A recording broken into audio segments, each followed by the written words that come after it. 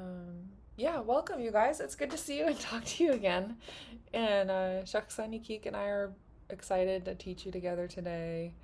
And uh, we wanted to open up by seeing if you guys have any questions or comments for both of us.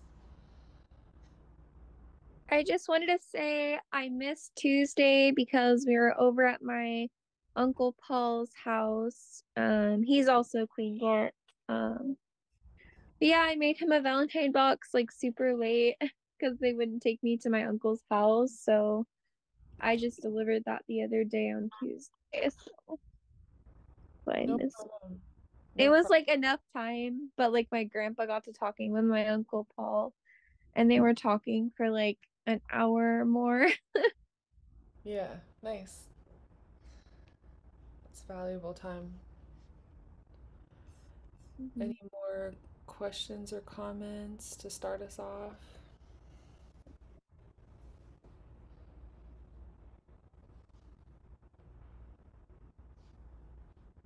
Miss I had all your questions answered on Tuesday. The introduction. Yeah, I shared with Shaksani Keek, Shaksani Keek some of the questions that you all asked me. A few of them, you guys had a lot of good questions on Tuesday about the self-introduction. I challenged you with the opportunity to practice reciting your self-introduction, and we all practiced it using the notes. One of our goals is to help you get there without using your notes. Um, and then also, you guys had good questions about asking where, how to say I, where I was born, where I grew up, and uh, I went over those today in our planning period with Shaksani Keek. So if you have any more questions, it's a great time to ask her or both of us.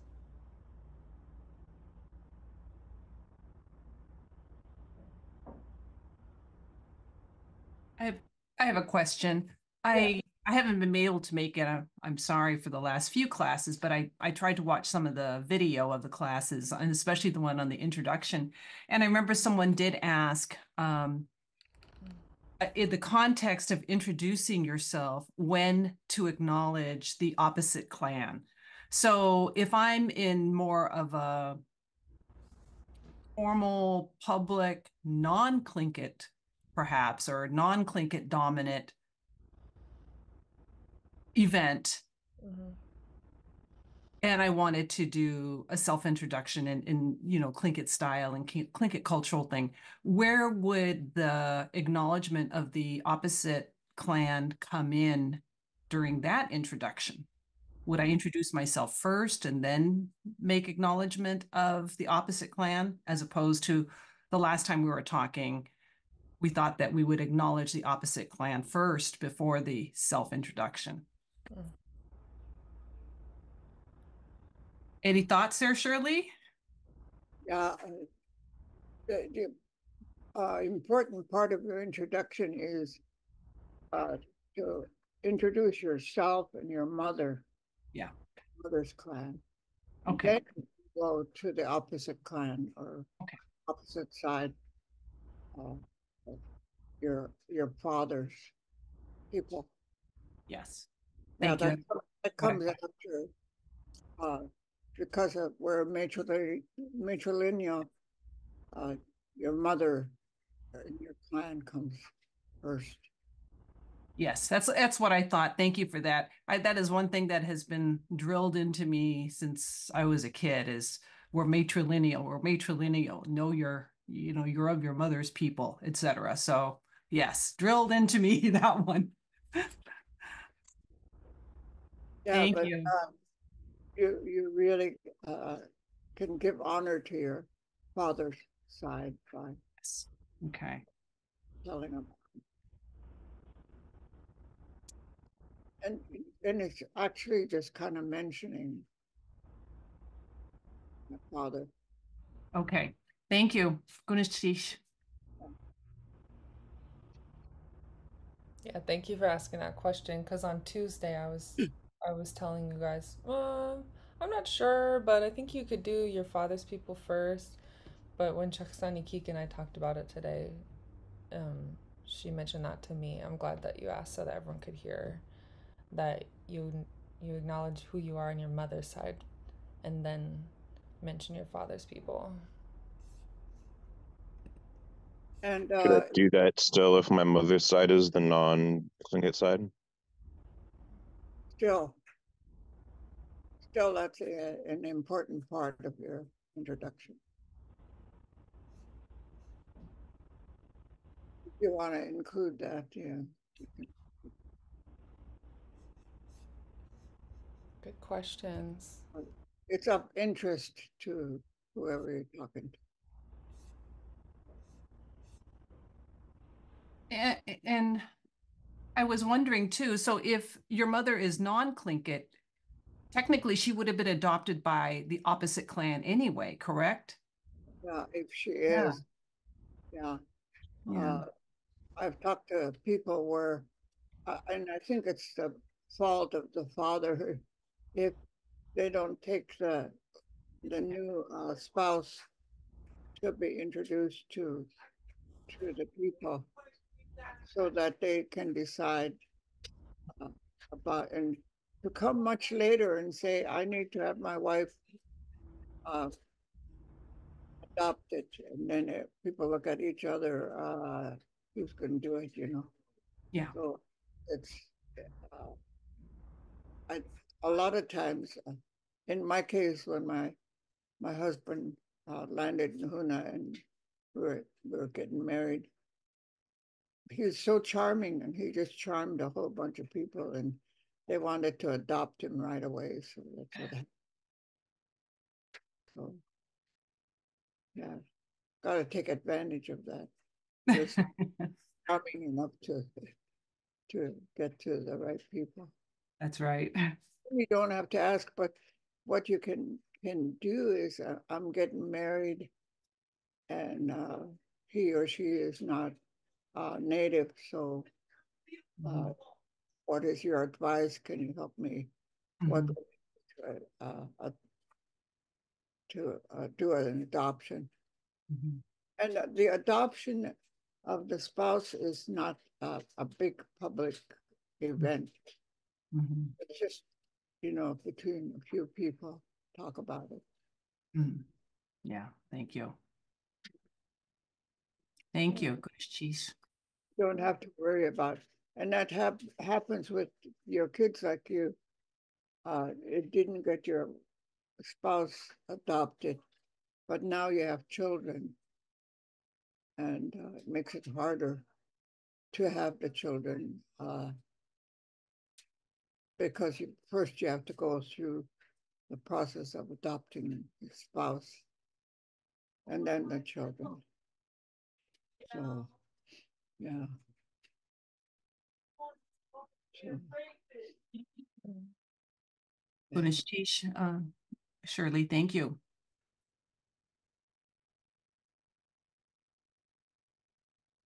Super helpful. Yeah. So um I just wanted to say that my mom found a Tlingit name for me. Um but I think actually it doesn't really stick with me that much. It's K A T dash G I dash S H A H. Um I just don't I don't really feel a connection to it, but I do feel a connection to the name Houday that I talked about before. And so Mhm. I think I, for now want to go by Houday, but um maybe changing it once my mom talks to the elders in Alaska. Cool. Thank you for sharing. Can you please spell it for me again? Yeah, it's K A T Uh-huh. dash G I Uh-huh. dash S H A H. Oh. Because my ex, who's Native American, Uh-huh. um, he has a girlfriend named Charlotte, and she goes by Kat, and I think that's her also a native name that she has. So I Uh-huh. just don't really want to go by that. Um, but I do like feel now feel a connection to the name Houday, so I think I want to go by Houday. And can you spell Houday for me? Yeah, uh, That I have to look for because it's in my mom's messages somewhere. Okay, thanks. Go ahead, Shirley. uh, you don't need the dashes. Maybe Shirley knows how to spell Houday too. Yeah, and uh, S H A H, I probably don't need the last H. I wonder if it's a double A. It, yeah, it could be if it's Shaw. Ah. Katkisha. otherwise it's Shah. Um, and uh, that doesn't come across to me as a probably included the H in order to get that ah sound. Yeah, Uh, it's probably a double A. yeah. Shah. And then Kutki. It would be pronounced Kutkisha, Yeah, which is pretty different from cat. Yeah. If you did want to go by that name, just mentioning that it's pretty different from cat. that's pretty easy to pronounce too. Yeah, I think it's a beautiful name. Yeah. Kutkisha. Hmm. You think it's a beautiful name? Yeah. Kutki- Ah, Shikuti. I uh, do too. yeah. Kutki Shah. Yeah. Beautiful. Yeah. What does it mean? It's something woman? Yeah, something women. I think it's beautiful. I just don't really feel connection to it. Mm-hmm. The G I might be a K I. Uh, K, uh, K Shaw. Yeah, sounds like, uh, it might be a K pinched. Wh- What did you say in your story again? You said that this name was given by what? How did you get Kutki Shah again? Uh, that's what my mom suggested, but I don't know how she found it. Oh, it, it wasn't a name that was already given to you. No, it's just something my mom found recently. Oh, okay. Thanks. Well, it sounds very, uh, Shinget. yeah, yeah, it does, it's really a good. uh, Good sounding name. And it could be, she heard the name when she was younger, but. it Sounds like a, a real Tlingit name. What about Houday? Do you know how to spell it, Shirley? What Um, does Houday mean? Um, I think it means an owl that turns itself into the sun. Looks into the sun. Hmm.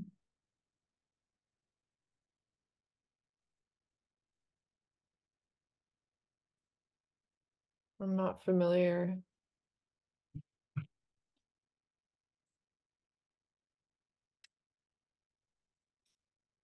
Titsk. Uh, well, an owl is, uh, titsk. Yeah, that's why I'm not sure what that, that, I'm not sure if that's, I've not heard the word Houday before. Mhm. I'm not sure if, Be fun Yeah. to work on it.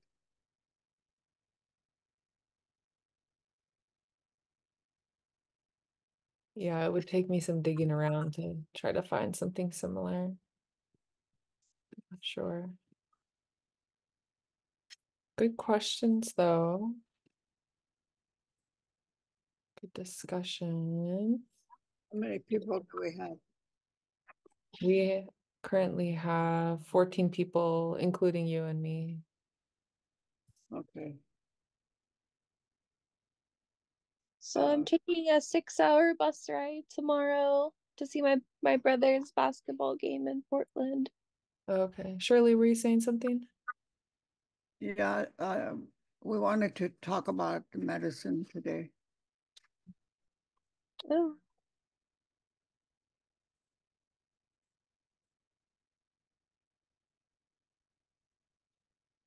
Yeah. Um, so getting that conversation started. Uh, Shaksani Ki, did you want to share about the name Tlingit Nagu? Yeah, somebody asked me, because they wanted to get a new name, a native name for the, for the, uh, medicine program they have here at the hospital. And I said, it's, it's, uh, what we would say would be Singit Nagu. Um, And I, I said, I, I let her know that right away it probably wouldn't be accepted because of the word Singit. But I think when we say it, we're saying it's native uh, because we refer to other people. We see them even if we don't know what tribe they are. They are native. That means they're Singit as far as you're concerned. So Singit Nago means all it means is native medicine. Mm, So that of course they didn't use it. mm, because it seems like uh, uh, the university and, and also the hospital, uh, people are, are very, very cautious about things like that. When, when I was teaching, uh, I'm, I'm uh, Tlingit, so what I know is, is to teach about the Tlingit stuff, but mm, they wouldn't let me call it Tlingit. They call, want me to call it native. mm. So uh, the classes that I taught always had the title traditional native something. Yeah.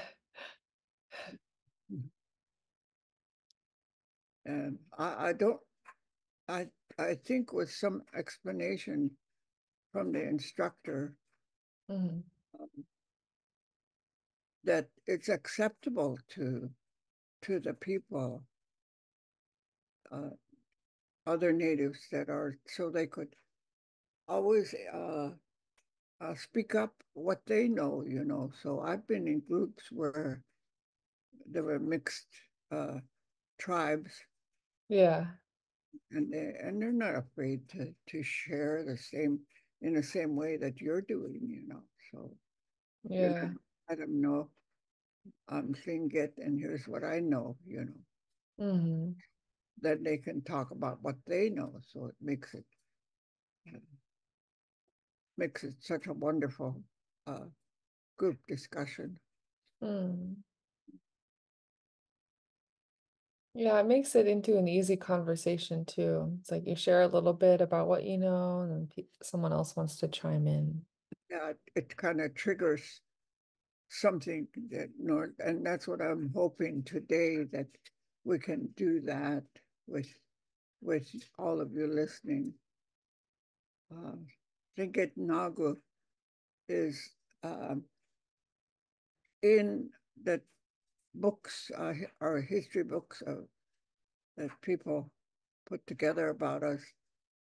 They always refer to the shaman as uh, medicine men. And uh, uh, that's really not not true.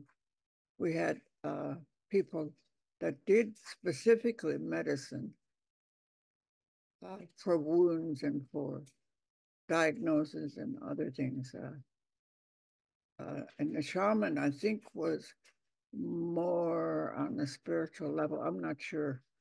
Uh, my parents were uh, religious, so they left that kind of information out of my training and uh, knowledge. So it's mostly what I've seen and heard in the books. People sometimes ask me about shaman. I I have to admit, I don't know. Yeah. I don't know. But um, one of the uh, wonderful things that the that was done for medicine among our people Hmm. was um, they they did have people that were very very knowledgeable about the body and about uh, uh, treatment. So there were for the women and children, uh, they had women. Um, you can call on women to help with uh, ch- sick children or uh, take care of women. And uh, I don't think the medicine uh, women did uh, deliveries of babies. I think that was a separate uh, thing that was done by other women that had knowledge about delivering babies.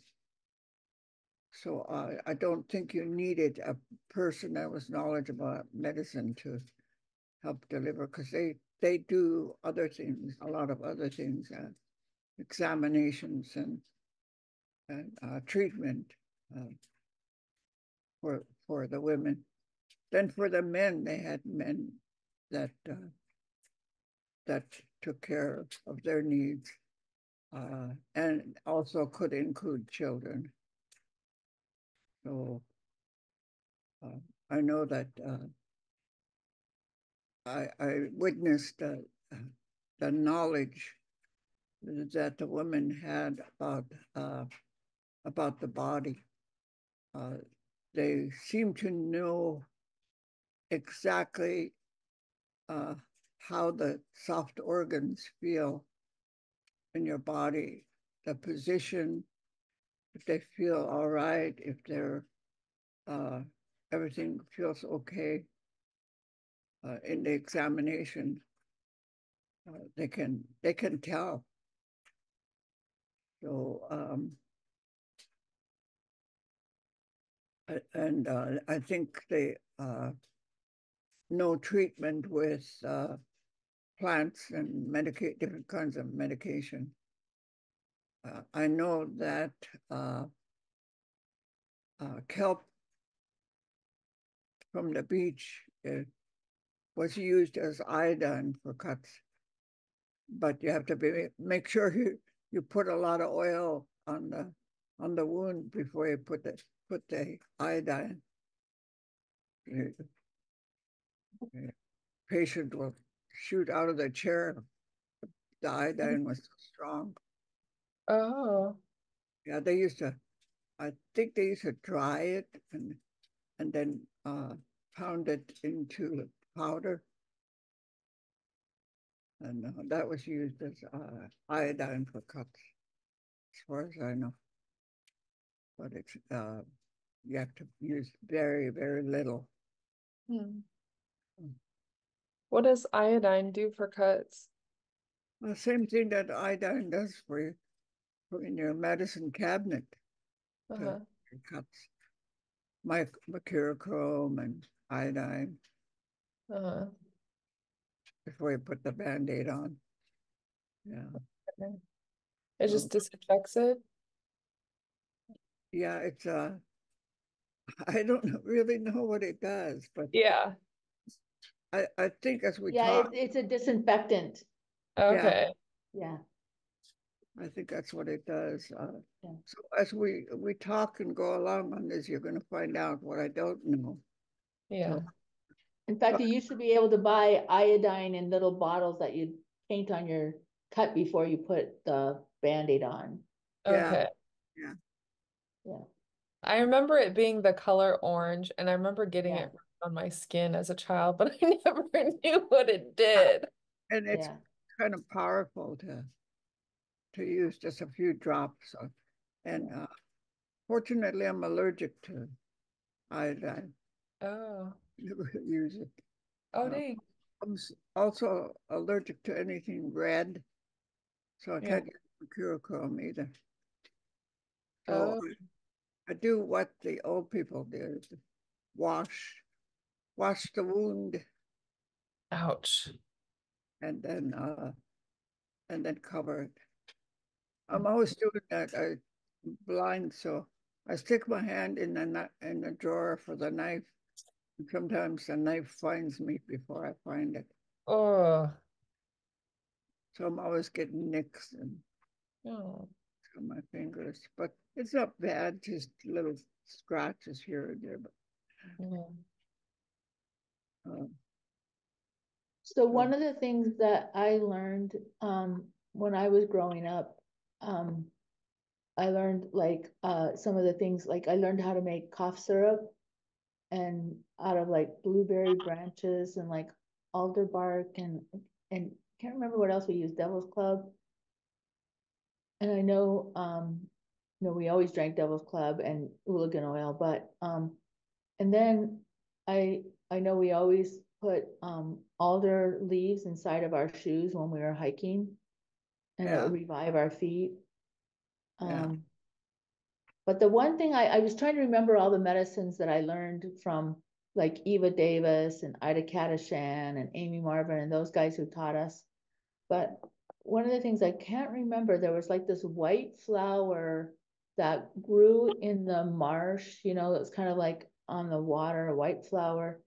And if you take that flower and put it in your pocket, you can, um, it's like a, create a, um, what do I wanna call it, um, uh, it's like that, uh, it, it, uh, it's like a, uh, attracts your hu- attracts a husband for you.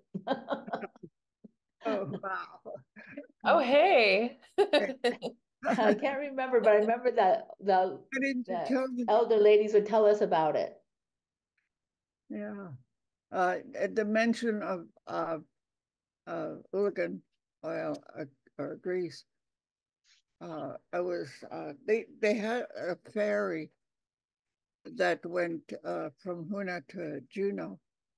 And there was always a lot of us that would go. And the, the ferry came late at night. So I went in, uh, and I got a spot so I could lay down and just rest for the night. And, uh, at the head of where I was laying was this uh, person from Hoonah talking to a young teacher. And he said, uh, talking to, how, how do you like the, how do you like your job? How do you like the school? And he said, fine. I'm, I'm really new. he said, when I, I, and I have never uh, done any teaching before. And when I got here, he said the principal uh, was really kind and uh, and was sharing information. And uh, after he finished uh, talking to me, he said, um, "These people are really, really nice. All of them, the children, everybody." But the thing about them is they always smell like oil. And uh, so he he said uh, that's that's one of the things that the, the principal shared with him. So he was talking about his uh, experience as he went along. He said uh, during the middle of the winter, he said, I wasn't I began to not feel too good. I'm not uh, not a hundred percent. So uh, I was uh, taking a walk, and uh, I ran into um, the old man uh, George Dalton, and uh, uh, George greeted him and said, "How you doing, young man?" He said, "I'm I'm doing fine." And so. Uh, they got to talking and he revealed to uh, George Dalton that how he feels and he's he was wishing he could feel better. So George Dalton said, "Come with me." So he took him uh, to his house, and out of the refrigerator he pulled this small jar, and he said, "Here you are." He said, take this and take a spoonful every day. And, uh, but keep it in the refrigerator. So, um, he said, okay, so he started him taking it. And he said, and that really improved his, uh, feelings and his health. And, uh, so the person who was talking said, it really worked. He said, yeah, yeah, I'm still doing it too. And I was Mhm. thinking to myself, yeah, now you probably smell like the rest of us. But that was hooligan grease. Mm, It was used uh, a lot for like a daily uh, Mhm. vitamin thing, rather than take uh, cod liver oil, take that. And, uh, and it's so delicious anyway, to yeah. me. Yeah. Yeah. Mm, So that was uh, uh, not like a wound, you know, or examination or anything. It's just talking about how you felt and what was needed. So apparently, uh, what he got was uh, a good treatment, uh, and it was uh, out of the mouth of a person that was not native. So it was really uh, good information for me. So mm. Yeah. So smart. And you would say, um, Ooligan oil? How would you say Ooligan oil? Ooligan grease, yeah. Yeah, Yeah. I, in Slinge nach, Yeah, if you uh keep it refrigerator, it it becomes uh a little more solid, so you can Yeah. scoop up easy with a spoon. Mm. Yeah, it's hard to get. Haines is is the was the master uh people for making and and uh, trading that and selling. So, Mm. uh, and we used to have a small barrel of it outside the house. Uh, and my mom used to say, uh, "Go get a bowl of this grease," you know, and I'd scoop it up all nice and white and solid. It was beautiful. Mm. wasa i do a sock, uh, Slinge nach Ooligan oil, grease oil. Corey, were you going to answer that? I can try. I believe it's Sak Efi Kusha. Yeah, Ah, sock. H- Echi, Yeah, sock easy. Grease from the sock, the the uh the fish that they get it from. Yeah. And Genau. it really, really is a lot of work.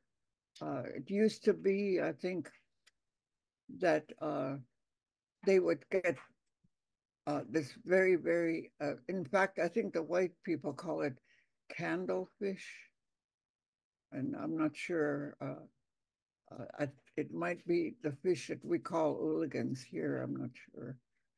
But Mm. very, very fat and they would take it and um uh, have a special canoe for it. Uh, I'm talking about something I'm, I heard about, and so uh, I don't want to, I don't want to give misinformation, but uh, Mhm. because my mother was from Haines, I kind of heard things about how it was done. That uh, I think sometimes they ferment it, and then they, they put water uh, in the canoe, and then uh, put hot rocks in to uh, make the water hot. And that Mm. makes the fat rise to the top. And that's the part they scoop up. Yum. It's so clever to do it in a canoe. Yeah. Yeah. They had these, I think they had these special canoes that they used for that. Uh, a very, a very good container. Yeah. One of my friends, Dashjini Mary Cruz Valetti, goes to Haines or Klukwan every year for harvesting sock or hooligan. And she taught, I haven't done it with her. She invites people to go, but she she talked about digging pits too for the fermentation process. Is anyone familiar with that? Yeah, we actually had the pit out at Culture Camp. We've had Oh. one there forever, like, it's been there for generations and generations, and, and we have a, uh, we have the pit, and then we kind of build it in the embankment, and then what we do is we have a, um, cut off, um, like oil drum that you can build the fire underneath, and then you fill it with water, and then you take the, they used to have the, the canoes all filled with the ooligan, and then you would shovel them into the, um, well, first of all, you'd shovel them into the pit. We have a pit that's in the ground, a wood box pit into Uh-huh. the ground. And Okay. then, and then you would ferment it, how many days you want to ferment it. And some people like four day ferment, some days people like six day ferment, you know, depends on the Uh-huh. weather and the, you know, like how cold it is and whatever. Yeah. And then once you got to the ferment to the point that you wanted, then you go to this oil drum, cut off oil drum thing that's kind of it and you build the fire and put, filled it with water and you then shovel the hooligan into the, into the, into that, so then you can, then you, um, seep out the oil and you, you know, ladle the oil off the top and fill your jars with it, and Mhm. that's how you, that's how, kind of how you do it. Mm, I yeah. used to, I used to feed my, my kids hooligan grease every day uh, when they were growing up, and they don't get sick even today. They just don't really get sick. They, uh, their immune systems are pretty good. Yeah, and it tastes so much better than cod liver oil. Is So- there any kind of a Tlingit cookbook? Because that would be amazing. There is a couple of Tlingit cookbooks. I know Hoonah did one, Angoon did one. The A and B, I mean, A and S sisters used to have, they have a really old, old version of one. But I don't know if any really can, I mean, I don't know about any newer versions of them. I just know that, well, I think SEARHC did one too, a smaller version of like um native foods and their um and their um nutritional value and how to prepare them. The, Mm. That's uh, really cool. the, the work that was done, uh, in studying the nutrient, nutrient val- uh, value of, uh, native foods was very, uh, simple. Um, because of the funding it takes to find all of the nutrients that are available in, in the foods. So they tried to, uh, tried to study uh, native foods from all over Alaska. Mm. So Tlingit food was uh, was part of it, but uh, because we're we're really different too, so makes it kind of uh, interesting to to look into that. Mm. Yeah. So uh, uh, before we use up our time, I wanted to also talk about my mother. Uh, my mother, uh, her marriage was arranged when she was just still a teenager.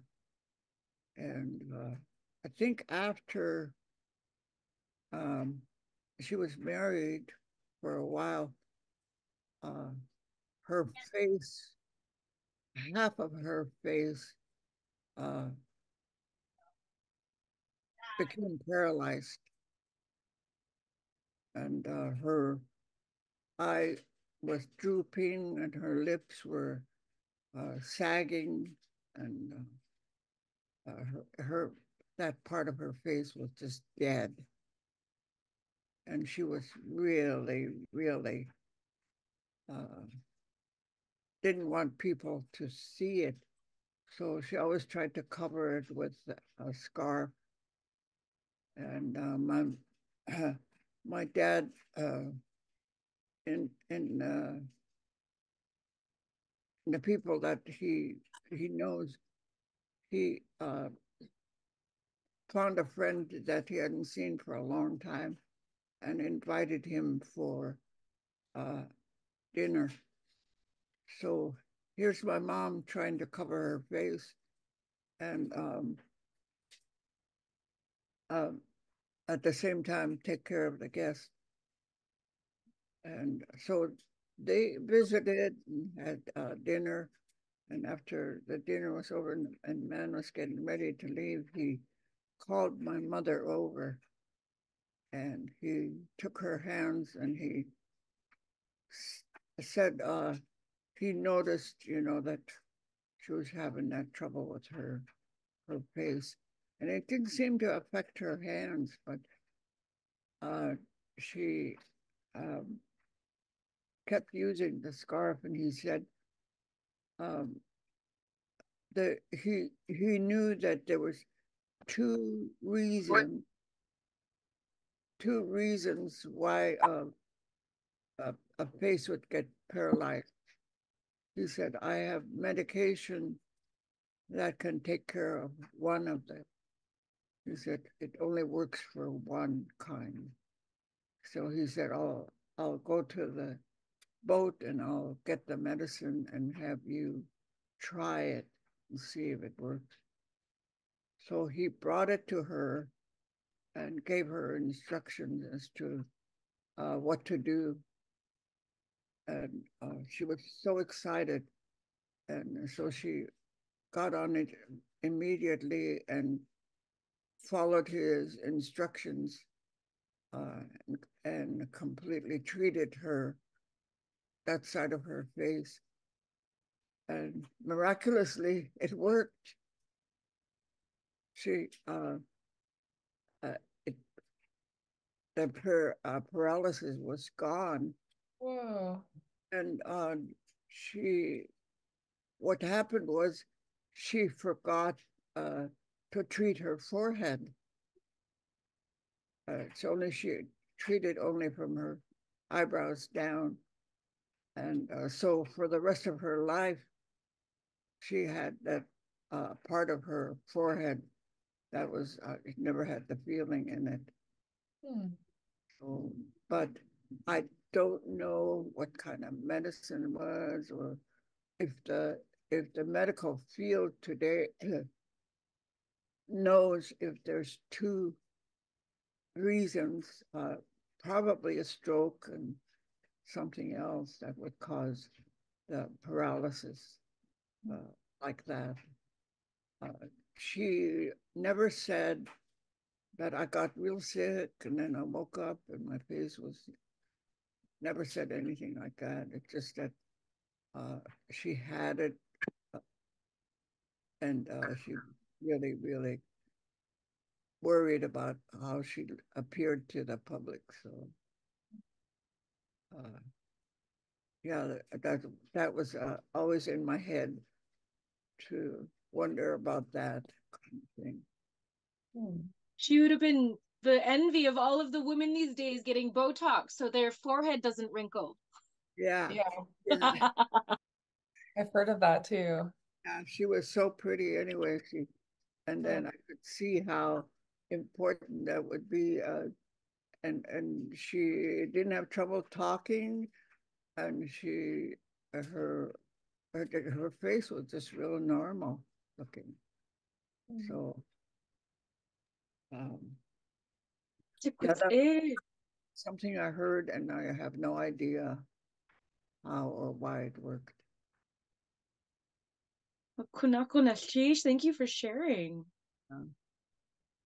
Yeah, there was uh, uh as as we go along, you're you're gonna realize that I I know nothing. so uh I the stories that I I have that are real uh uh when I was a, a kid, if uh the saying about uh frogs causing warts Yeah. That was really true. My brother and I we used to play with frogs.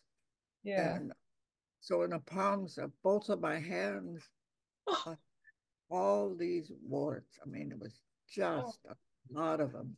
Yeah.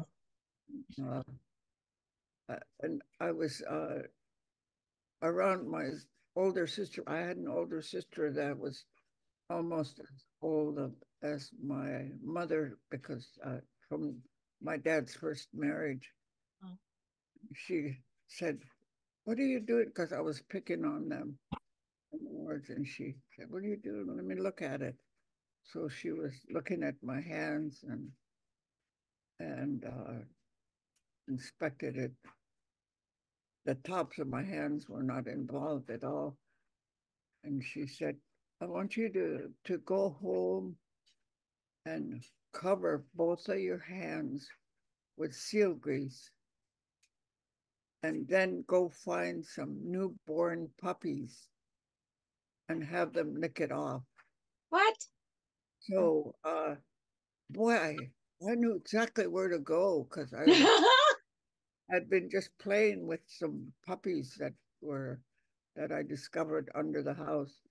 Oh. I, I put the grease on there and I, I crawled into the dark and uh, and the- fortunately the mother was real friendly. So the puppies came running over and they uh, started licking my hands and I let them lick uh, all the oil from the top of my hands, the palm of my hands, everywhere. And then uh, I could hardly wait uh, to get back out in, in the light so I could look at my hand. And I finally crawled out of that dark space and uh, looked at my hand. All the words were still there. Oh. And and I thought, oh well, you know. So um, I I spent the day, and then the next morning when I woke up, my hands were both completely clear, completely no indication that I ever had warts on my hands. Wow. Yeah. So I don't know how it works.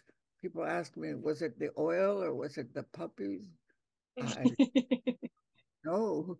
Um, it, if it's one or the other, I- I- she didn't say, she didn't say, just, just put the oil on it, it'll go away, you know, she said, no, you had to find these puppies to, uh, lick it off.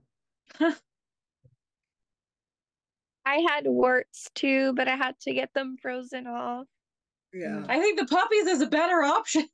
Yeah. that's easier. I had warts, uh, recently and on my fingers and I went to the doctor and they tried to freeze it and it just wouldn't go away.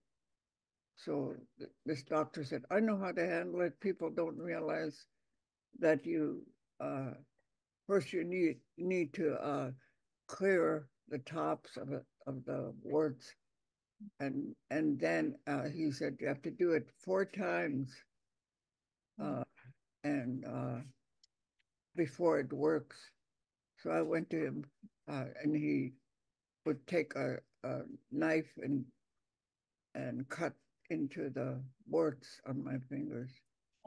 And uh, so we were talking, and and he was uh, working on it, and he said, "Does it hurt?" Yeah. of course it hurts. So, uh, but anyway, after four times, uh, you carve it and then you freeze it or or burn it. And each time I, my fingers were bandaged up. After four times, I was so anxious, and I looked, the warts were still there. Oh, Oh. Yeah, didn't have any seal grease or puppies, hey? puppies. Yeah, so It Go to- reminded, it yeah. reminded me of, um, I, Go- w- they, I was also taught that, um, when you get, like- like, when people have a bad burn, like they get burned from a fire or a bad burn, um, we would put, um, cold seal fat and lay it on it and wrap it on it, and then that way it would heal without a scar. Yeah. Oh. Oh, I've Maybe heard of put that that. too. Oh. Now, if, uh, in the future, if you have, uh, a problem, put the seal grease on there and go to the shelter. Get yourself a puppy. Have any- have any new puppies? Uh, Mm. It's for my war treatment. They didn't- they didn't get Nagu.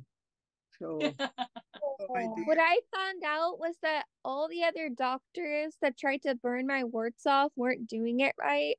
And so I finally got this good doctor and she did it like one time and they were off in like a week. Oh.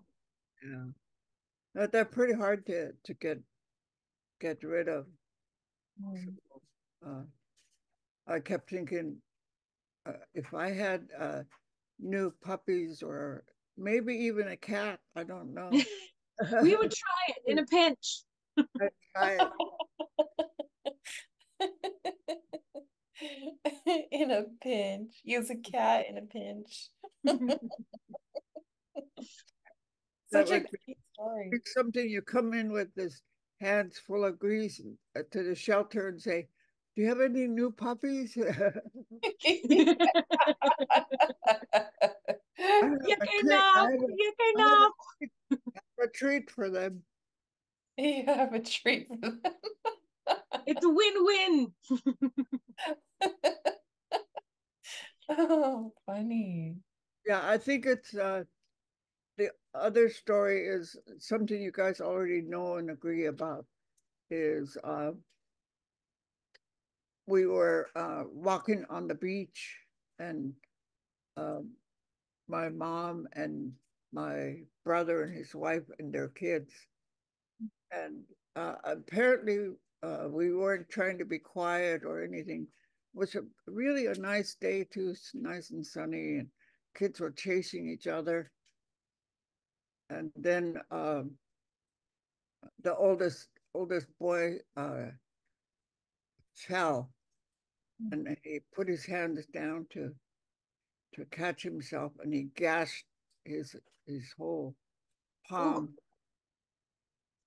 And uh, so my mom took a look at it, and she told my my brother, uh, have it go to that stream and wash it. And she took a knife and went into the woods.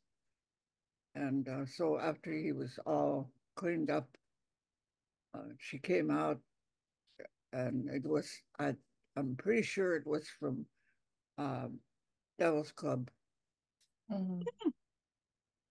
medicine. And she had a handful of it.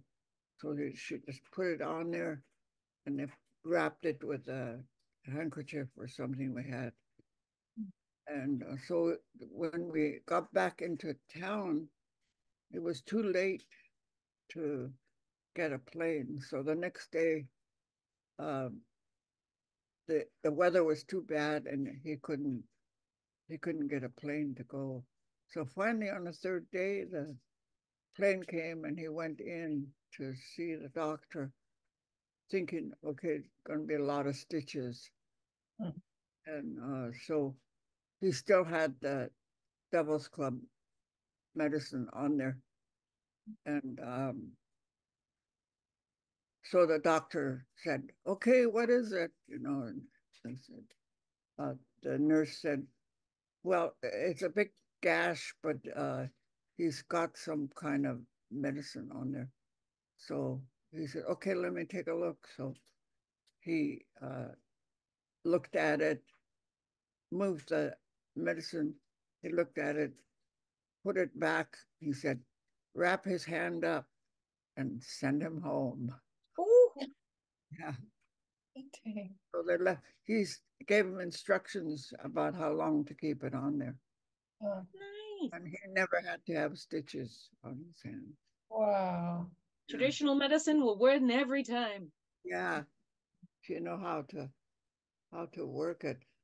Um, My aunt was walking through the bush and she thunk got her axe stuck in her shin. Mm. And she went to a tree and she pulled some of the pine sap off and chewed it. And then she spread it over the wound. And she's had never had a cleaner healing wound ever. yeah. Oh, the medicine's there. Yeah. Yeah. I know it, it was, um, uh, a big uh, study for the, uh, Tlingits. They really, uh, kept up with, uh, the, the plant study, the, the, the, uh, medicine men and women uh, were very knowledgeable about plants and how to Mhm. use. And uh, also uh, apparently studied the anatomy of of people. So um, uh, one time I, I I saw all these women standing, looking really worried outside the house, a house, and uh, pretty soon, pretty soon, um, the medicine woman came out of the house, and they were real anxious to hear, because uh, they knew that the the uh, the chief's wife was had been very ill. Mm. She said, uh, I examined her and her body is just full of lumps. Oh no.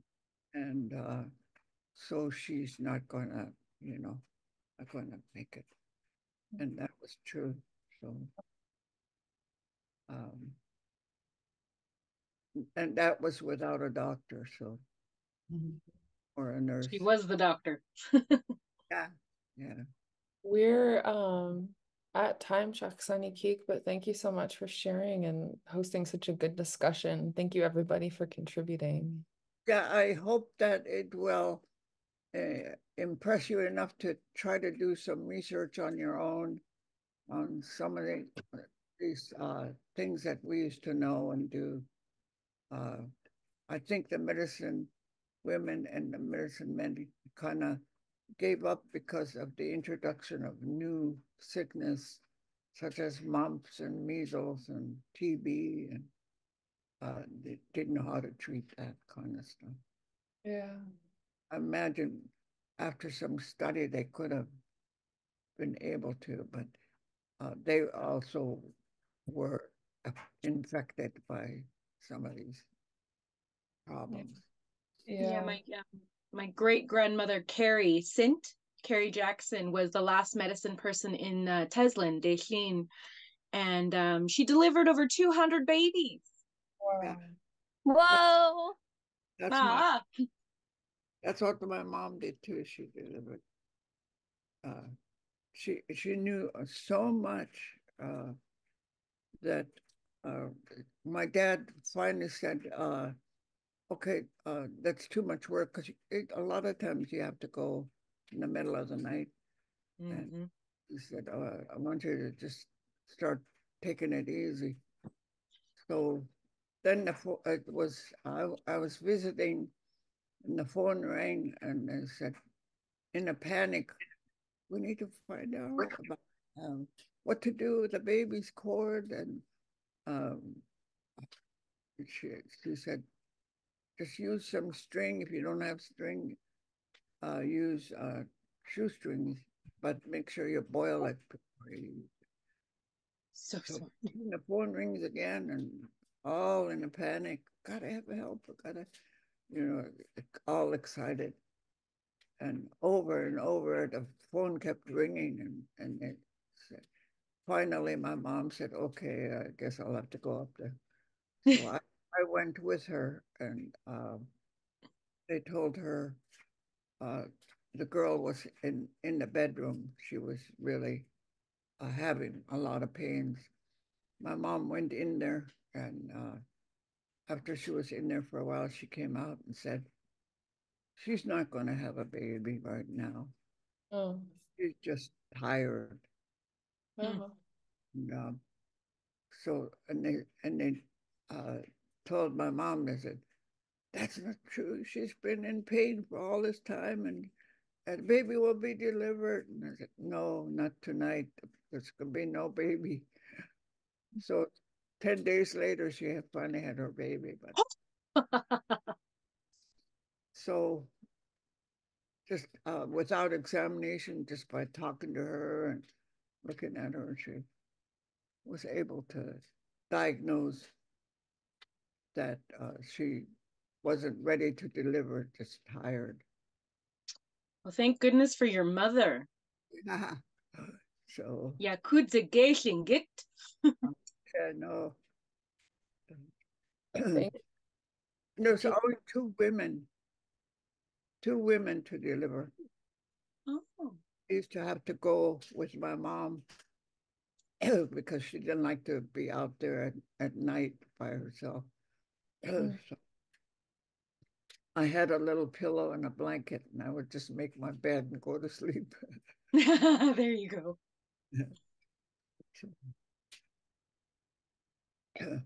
Good discussion. We're uh we're a little over on time, but this is so good to hear you all your guys' input. Um, you're slow to warm up as a class. When we start talking, we any questions or comments, it's like really quiet.